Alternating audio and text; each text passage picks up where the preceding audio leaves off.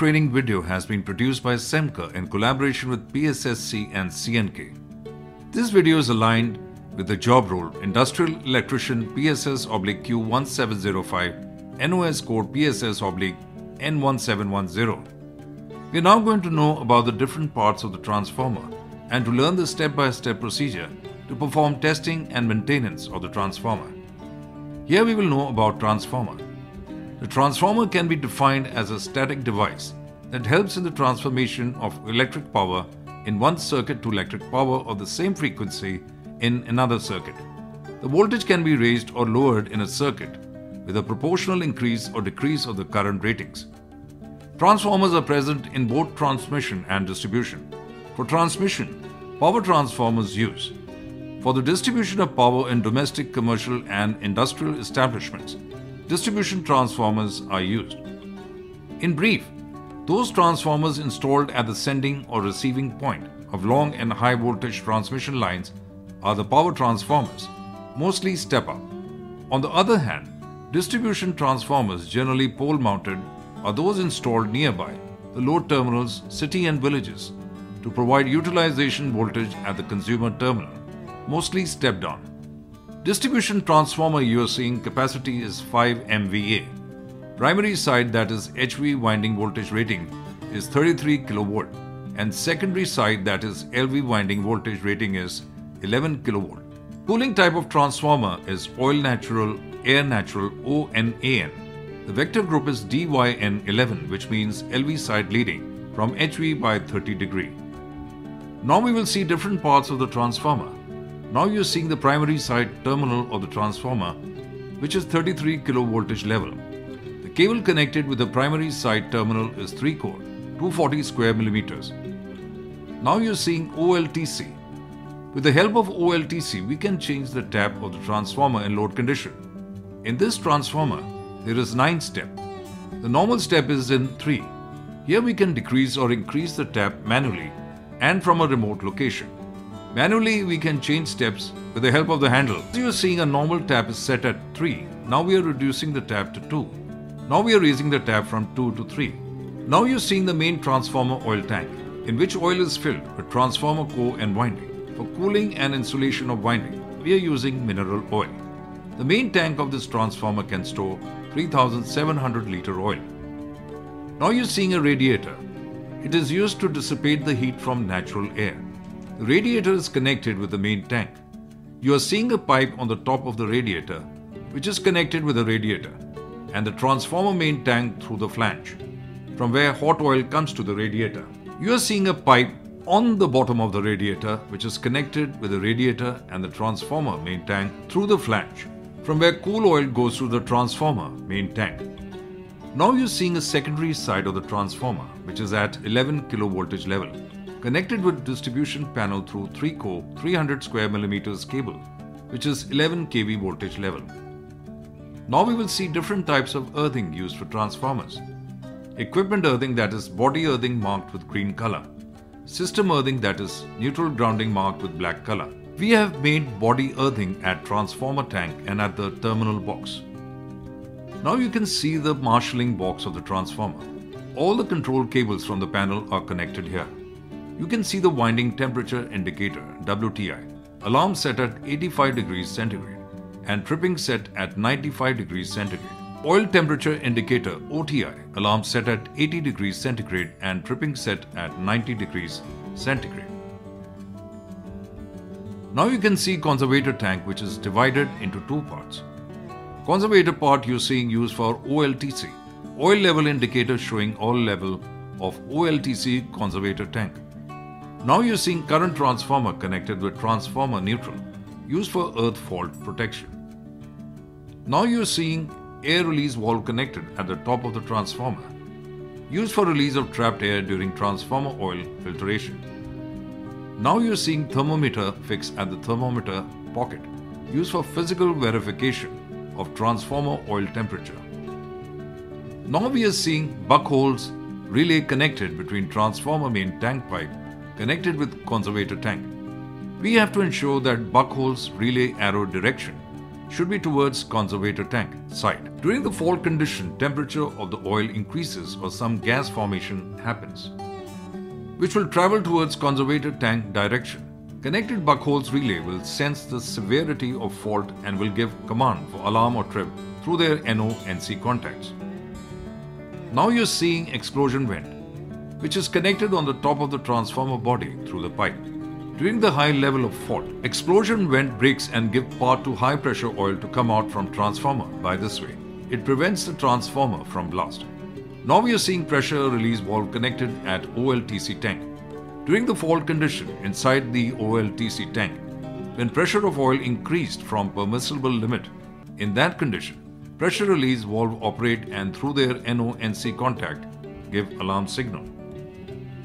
Now you're seeing Buchholz relay connected in between the pipe, connected between OLTC main tank and OLTC conservator tank.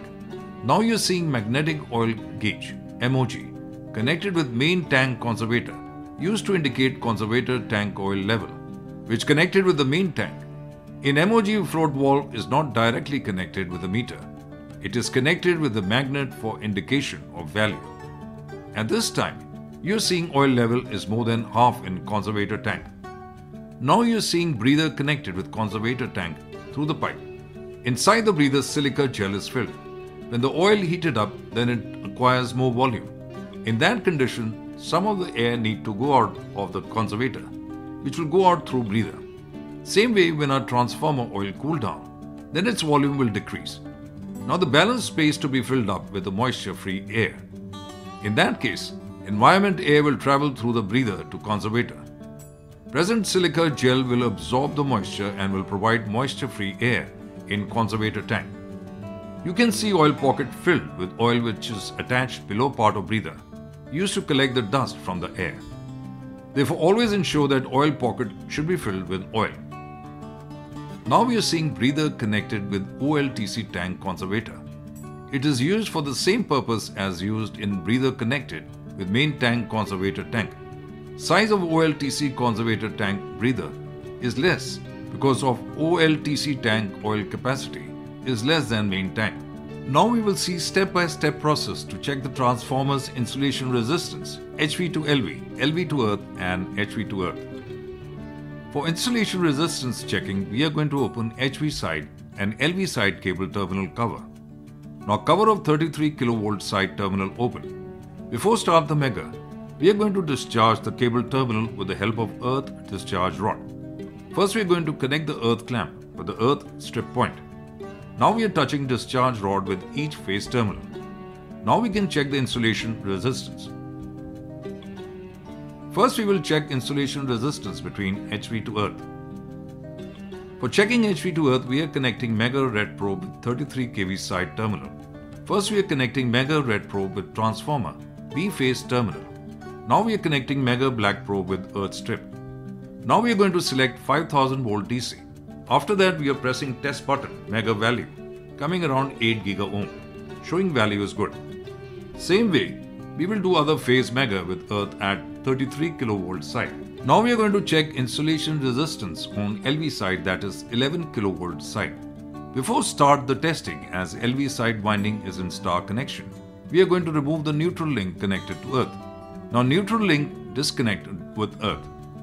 Now we are connecting Megger Red probe with transformer red face, winding terminal and Megger Black probe with earth strip.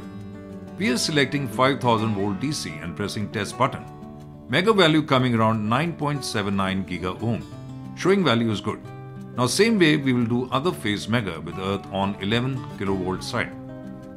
Now we're going to check insulation resistance between HV to LV side winding, that is 33 kV side to 11 kV side winding. I have laid one cable from HV side winding and available near Megger for testing. Now we have connected Megger Red probe with LV side yellow phase winding and Megger Black probe with HV side yellow phase winding wire. Now we are selecting 5000 volt DC on Megger and pressing test button.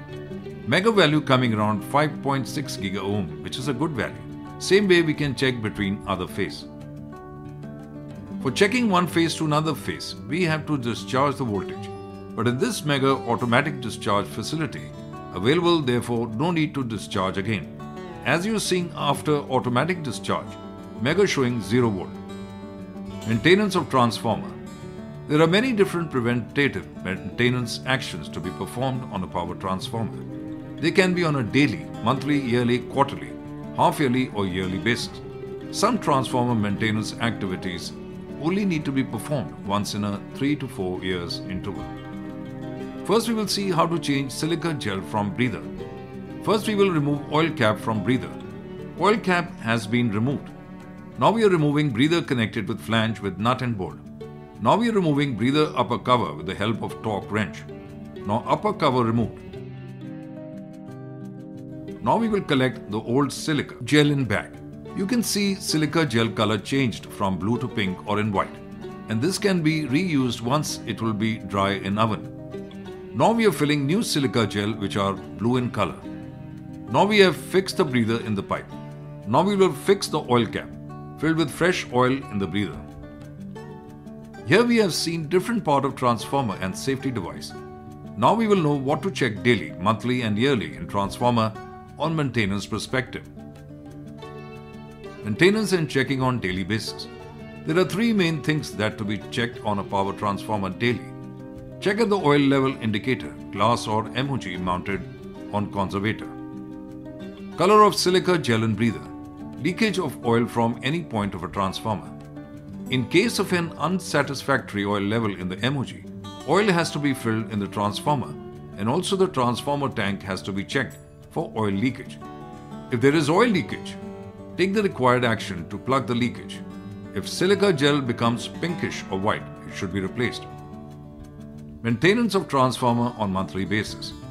Let us first discuss the actions to be taken on a power transformer. Oil level in the oil cap under a silica gel breather must be checked in a one month interval. Check at the oil level indicator, glass or MOG, mounted on conservator. Breathing holes in silica gel breather should also be checked monthly and properly cleaned if required for proper breathing action. If the transformer has not been used on LV and MV system, the oil level of transformer oil inside the bushing must be visually checked in the oil gauge attached to that bushing. Action is also to be done monthly. If it is required, the oil has to be filled in the bushing up to the correct level. Oil filling has to be done under the shutdown condition. Maintenance of transformer on half-yearly basis.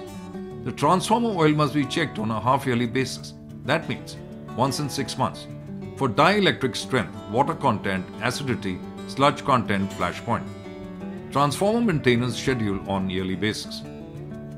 The auto remote manual function of a cooling system that means if transformer installed oil pumps, air fans and other items engage in the cooling system of the transformer along with the control circuit are to be checked on a yearly basis. In the case of trouble, investigate the control circuit and physical condition of pumps and fans. All the bushings of the transformer are to be cleaned by soft cotton cloth yearly. During cleaning, the bushing should be checked for cracks. Oil condition of OLTCs to be examined every year. For that, the oil sample has to be taken from the drain wall. This collected oil sample must be tested for dielectric strength BDV and moisture content ppm. If BDV is low and ppm for the moisture is found high compared to recommended values, the oil inside the OLTC has to be replaced or filtered. Mechanical inspection of Buchholz relays has to be carried out yearly. All marshalling boxes are to be cleaned from inside at least once in a year.